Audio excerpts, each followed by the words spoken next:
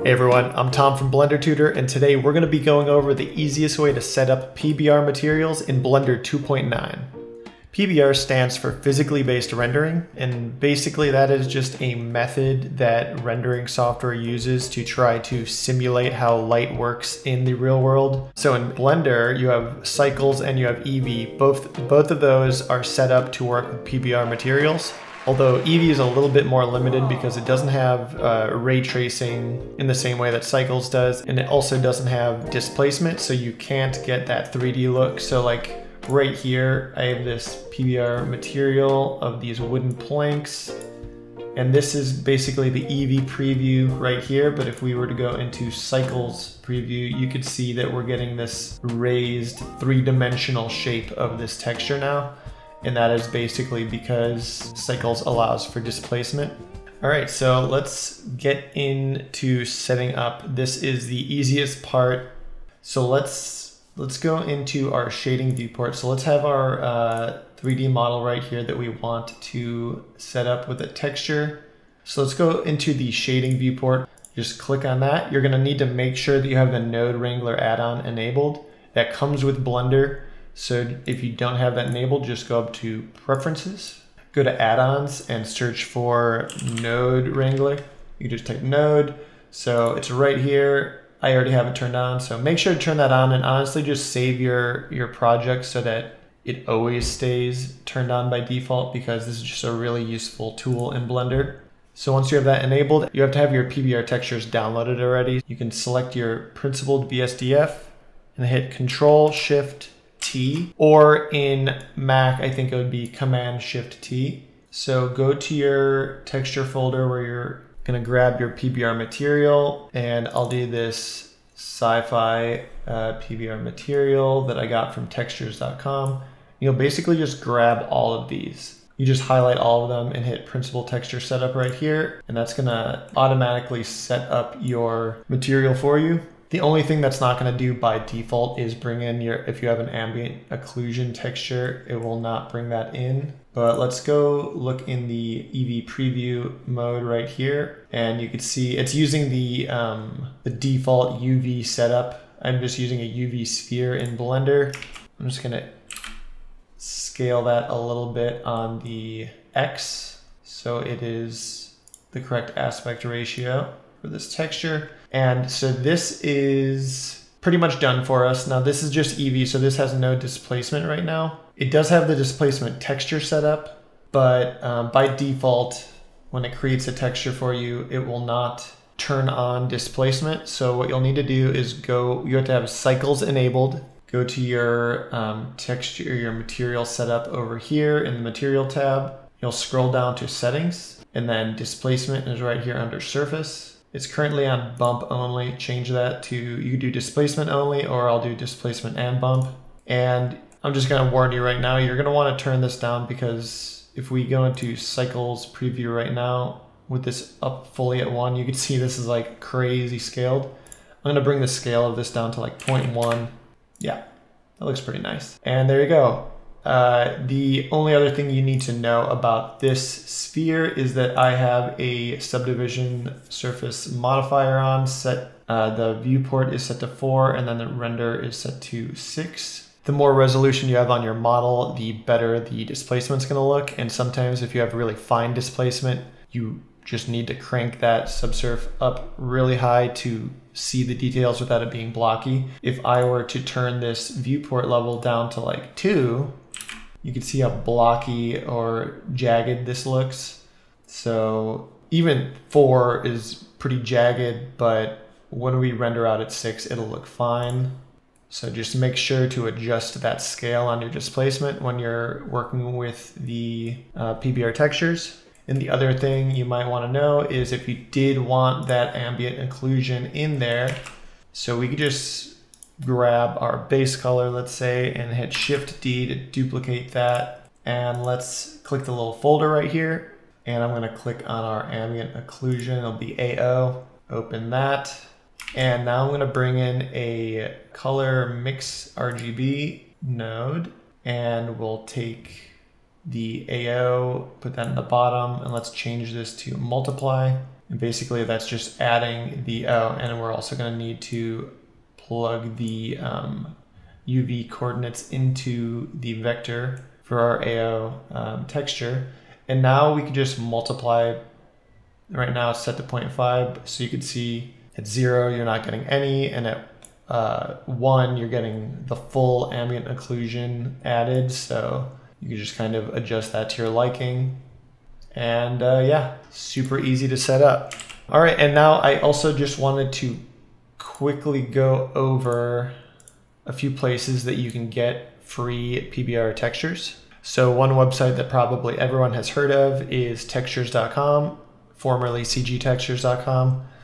And you can just, if you're on the main page, browse library, you could go to PBR materials right here and you could scroll through hundreds of different materials and they're all going to come with those maps. So let's click on one real quick. Let's look at this leather weave. And so what that's going to come with is a uh, diffuse or albedo. That's basically just the raw image, just the raw color information. It doesn't have any other information in there. Going to get a normal map, a roughness map, a height or displacement map, and then sometimes you'll also get an ambient occlusion uh, texture with that as well. And so you can see, you can download these for free. If you just sign up for a free account, you get 15 free points a day or credits, I guess. So you just tech, uh, download the small resolution of these for free. Or if you buy some credits or have a monthly subscription, and so I could download these at like 4K if I wanted. But if you just want to start out and experiment with some textures, you could download these for free. And there's just a ton. And then you could also, if you scroll through here, you could see sometimes there aren't a ton of them, but there are some free textures that are just 100% free. So this chipped paint right here, we could click on that. And you can download the full 4K resolution. You're not even spending a single credit on that. So definitely a useful resource. Another one is texturehaven.com, and these are all, fully free on here, and they all come with a great preview of what it'll look like with the displacement and everything. Now, this doesn't have nearly as many textures as textures.com, but these are all free, so you know, you can't complain really. And there's a bunch of high quality textures on here, so definitely worth it. So if I were to click on one of these, you could download each map individually, or you could just download all the maps together, and you could even choose all the way up to 8K. I would say you probably shouldn't go below 4K if you could help it. And then there's this other website, CCO Textures or CC0Textures.com. And these are all PBR as well. And this one has even more than TextureHaven.com. Kind of works the same way. You'll just click on a texture and then you can just download the full package. And then the last resource I wanted to show you is uh, Quixel Bridge. So Quixel Megascans is an awesome resource for 3D artists. It, it comes with a bunch of awesome 3D scan textures and also 3D scan environments and props. So this uh, this is not 100% free necessarily, though if you're working with Unreal Engine, basically uh, Epic Games, who makes Unreal Engine, bought Quixel a few years ago, and so now if you have a, an Epic Games account and you have a Unreal Engine project you're working on, you get full access to the Quixel Megascans library, all the 3D materials and uh, 3D scans if you want to work with it in 3D software outside of Unreal, you will need to sign up for uh, an account. You could still use a free account. So once you sign up for an account, you could also download Quixel Bridge, which is basically software on your computer that accesses the website, but then it kind of helps organize it for you on your local system. So you'll have to log into uh, Quixel Bridge. And now we can go over on this side right here. There is a free section and you click on that and um, it's not just textures but there's also a bunch of plants and 3d assets and everything. These are all free. Click on surfaces though. That's going to be the pbr textures. And it's broken up into categories. So we could click on one and it's not gonna be a ton of uh, assets for free, but there are a good amount of free ones that are really nice quality. And you could even uh, adjust the, the resolution of what you download. Goes up to 8K resolution. So let's say I wanted to use this steel material. Basically the way this software works is you can get different plugins to export to different 3D software. So I think when you're setting this up initially, you can install the different plugin. So you'll go to export target. I have Blender set to that. Now I could go back. You have to make sure you have a Blender project open before you hit export. So I'm gonna open Blender. So my Blender project open. I will open Bridge back up. I'm gonna export that.